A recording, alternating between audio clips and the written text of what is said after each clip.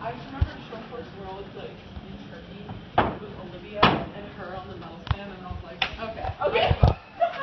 Great, Yeah. is cool.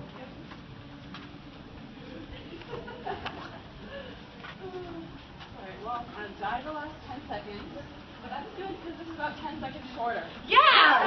Yeah! Look at that. Ready?